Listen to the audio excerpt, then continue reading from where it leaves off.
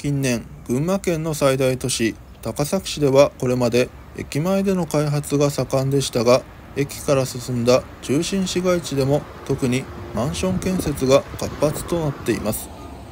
駅の東口西口とともに進む市街地のマンション建設ラッシュとも取れる動きについて詳しく見ていきます。また今回の情報は2024年7月中旬現在のものとなっています。まずは高崎駅東口から見ていきます。今年7月中旬の群馬県高崎市の JR 高崎駅東口前。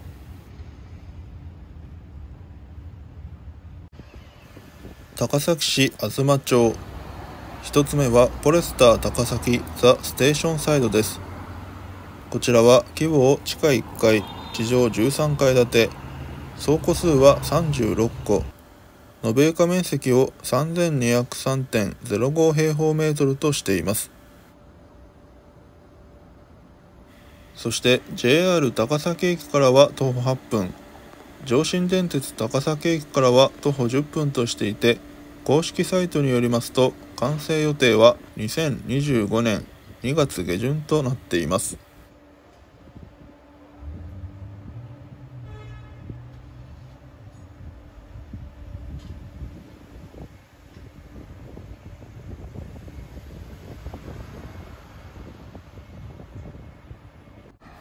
続いては高崎市栄町。今年1月に竣工したファインレジデンス高崎ステーションサイドのこの先に。2つ目は高崎市栄町での計画です。こちらの場所には建築主に大和ハウス工業トヨタホーム三新住建から構成される共同住宅で規模を地上20階建て高さを59.99メートル。延べ床面積は19,633.33平方メートルの新たな建物が建設されます。着工は2025年3月頃としています。さらにこの場所で当時営業中であったドラッグストアの杉薬局高崎栄町店は2024年10月現在閉店となっています。マンション化後には再度入居となるのでしょうか。続いて3つ目は仮称高崎市栄町計画新築工事についてです。こちらでは建築主に積水化学工業西日本鉄道長谷港不動産から構成される共同住宅が建設されます。規模は地上19階建て高さを59.43メートル延べ面積が26,118.31平方メートルとなっています。着工は2024年8月頃を予定しています。通り沿いに建てられるということで周辺は交通量がかなりあります。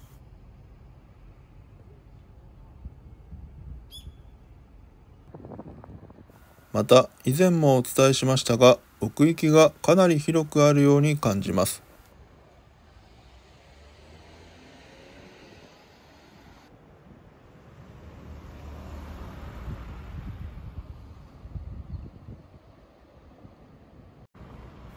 続いて4つ目は高崎駅東口堺町地区第1種市街地再開発事業です。こちらの計画地では現在も既存の建物が一部を除き営業稼働していますが築面積で約1.6ヘクタール建築面積を約8000平方メートル延べ面積では7万5000平方メートル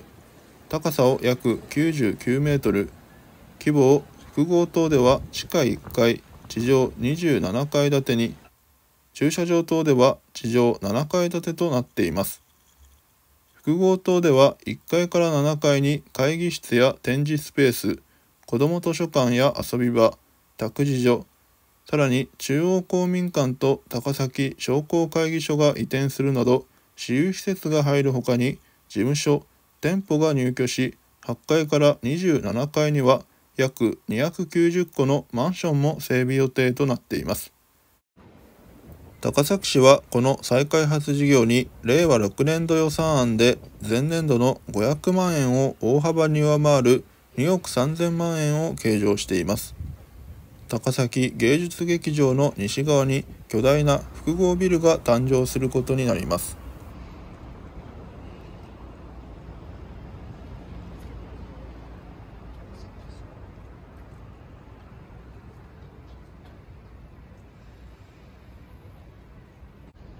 5つ目は高崎駅東口の駅舎のすぐ隣 JR 東日本高崎支社の手掛ける賃貸マンションです。こちらでは規模を地上13階建て高さを約43メートル延べ床面積は約8200平方メートルの賃貸マンションが建設されています。1階には住宅エントランスのほか駐車場駐輪場店舗が設けられ2階から13階には108戸を予定する賃貸住宅となっています。後期は2024年4月から2026年3月までを予定していて入居時期は2026年春を予定しています。高崎駅東口から徒歩1分で駅舎のすぐ隣にマンションが建設されるという異例の土地利用となっています。続いては高崎駅西口側を見ていきます。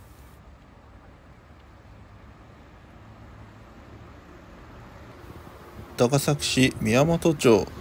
すずらん百貨店高崎店の旧店舗の解体が進んでいます。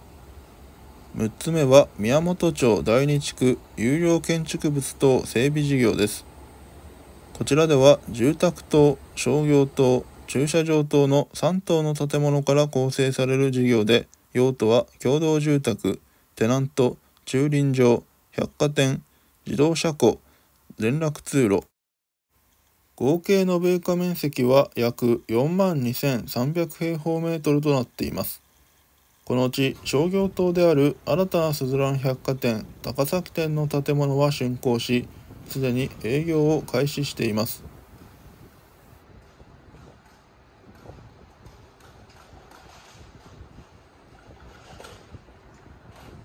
そしてこの新たなスズラン百貨店高崎店からもすぐ近くのこちらの場所。7つ目はサンクレイドル高崎セブンです。こちらは高崎クラブフリーズなども入居していたスカイビル跡地に建設されているマンションです。公式ホームページによりますとこちらのマンションは規模を地下1階地上18階建てで敷地面積を1022.67平方メートル。倉庫数は85個だということです。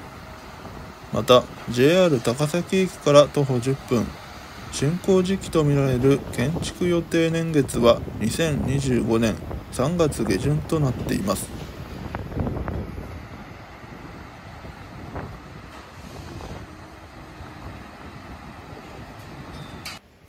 すずらん百貨店高崎店からすぐの高崎市鞘町。8つ目はファインレジデンス高崎鞘町です。公式ホームページと建築計画のお知らせの掲示によりますとこちらではマンションの住宅棟とタワーパーキングが建設されています。マンションは地上15階建て倉庫数は72個高さを44.45メートル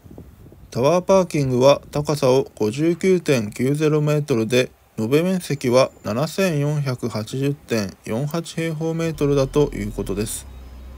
こちらでは高崎駅東口で竣工済みの京阪電鉄不動産が手掛けるファインレジデンスブランドの2棟目のマンションとなっています。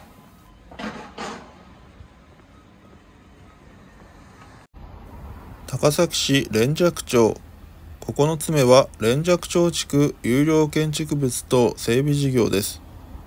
こちらでは複数の建物が再開発エリアの対象となり現在は解体工事が始まっています。また具体的な事業の詳細は未発表となっていますが高崎市によりますと共同住宅教育施設駐車場等を整備するとしています。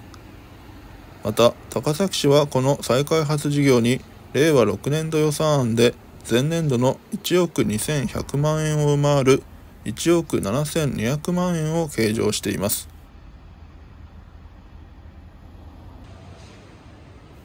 こうして見ると予定地はかなりの広さに見えます。高崎市荒町。最後10個目はクレアシオン荒町です。こちらは公式ホームページによりますと規模を地上13階建て倉庫数が57個。JR 高崎駅から徒歩7分。竣工は2024年8月下旬と同じ規模では高崎駅周辺では最も新しいマンションです。映像でもご覧いただいています通り最上階が特徴的なデザインとなっています。いかがでしたでしょうか？今回は高崎駅周辺や中心市街地で行われているマンション建設を10個見てきました。皆さんの感想もぜひコメント欄で教えてください。最後までご覧いただきましてありがとうございます。好評でしたら今後とも継続していきますので高評価やチャンネル登録シェアをよろしくお願いいたします。